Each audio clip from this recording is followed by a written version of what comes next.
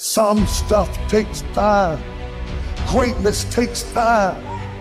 It takes time. It takes time to build your brand. It takes time to build your life. It takes time to build your career. You got to be prepared to get a thousand no's to get one yes. But either you could dwell on it or you could take that hopelessness and say, I don't ever want to feel like this again and let it drive you and let it be that passion and let it be that hunger and let it be that intuition that you get to take advantage of every opportunity that you possibly can. When the path grows steep, the obstacles seem insurmountable, and the world tells you to give up. Remember that greatness is achieved by those who refuse to quit. Keep pushing forward, for the journey may be tough, but the reward is immeasurable. What will it take for you when others are quitting because of the rejections, when others are stopping because they just become so discouraged and they have predators breathing down their neck and they have family members and friends telling them they're full? What is it that will allow you to have the mental resiliency to keep on keeping on, to keep your commitment to your commitment, the will to give? You want to surround yourself with people that are hungry. People that are hungry and willing to do the things that others won't do. In order to have the face tomorrow, others won't have. People that are hungry do what they know, not what they fear. In the face of adversity, don't let the world dictate your limits.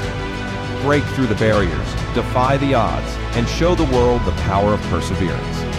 When you feel like giving up, remind yourself that your dreams are worth fighting for. Don't even start. If you're going to try, go all the way. This could mean losing girlfriends, wives, relatives, jobs, and maybe your mind. Go all the way despite rejection and the worst odds. And it will be better than anything else you can imagine. The world is at the palm of your hands. It all depends on what you're doing with it. So I tell people, if you don't know where you're from, you don't know where you're going. And if you don't stand for something, you're gonna fall for anything. Quitting may provide temporary relief, but it will never bring lasting satisfaction. True fulfillment comes from pushing past your limits, surpassing your own expectations, and proving to yourself that you are capable of achieving greatness. Embrace the challenges, for they are the stepping stones to your success. And so hold on when there is nothing in you, except the will, he says to them. Hold on. If you can talk with crowds and keep your virtue, or walk with kings nor lose the common touch, if you can fill the unforgiving minute with 40 seconds worth of distance run, yours is the earth and everything that's in it. Don't be disheartened by temporary setbacks or failures. They are not indicators of your worth or potential, they are merely lessons on the path to success. Stay committed to your dreams for it is in the darkest moments that the light of triumph shines the brightest.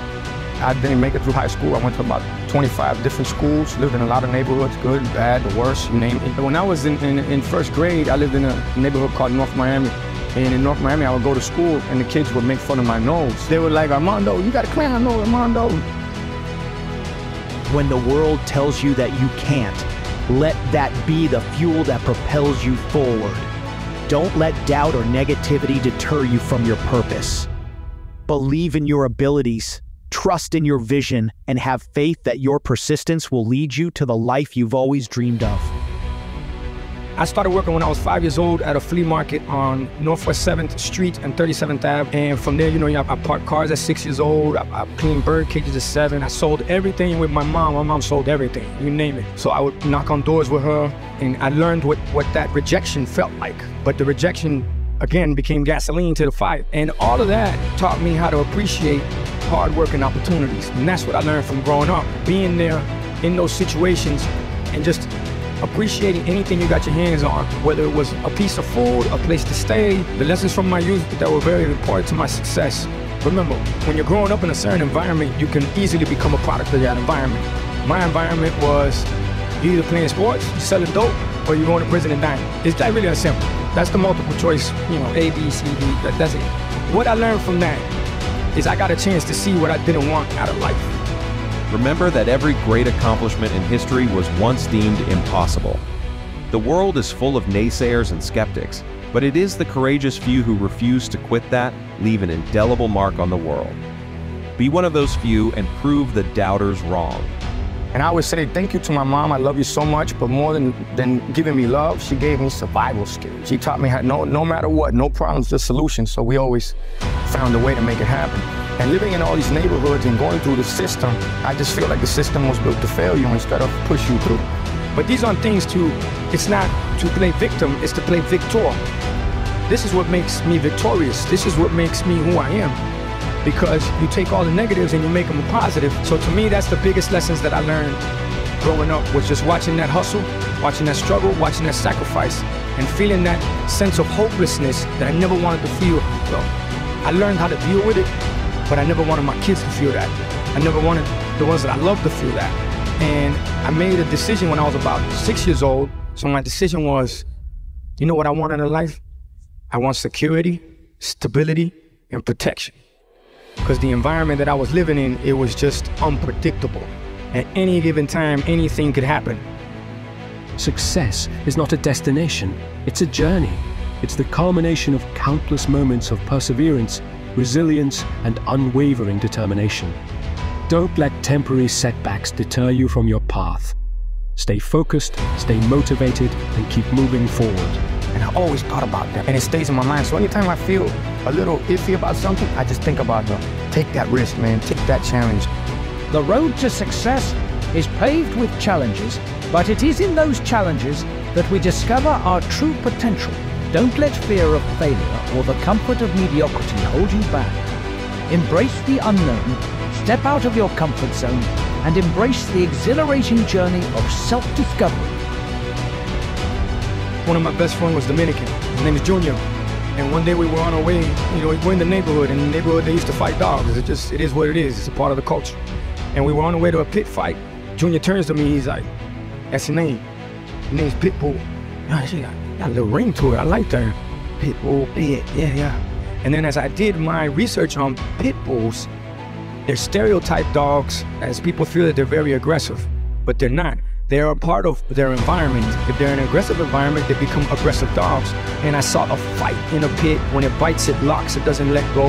It fights to the death for what it believes in. So you apply that to the game, you apply that to my life, you apply it to everything that we got going on. That's basically what it's become. And for life, I feel that it's always a fight. I don't understand the word lose. I don't understand the word can't. I don't understand the word fail. I understand the word learn.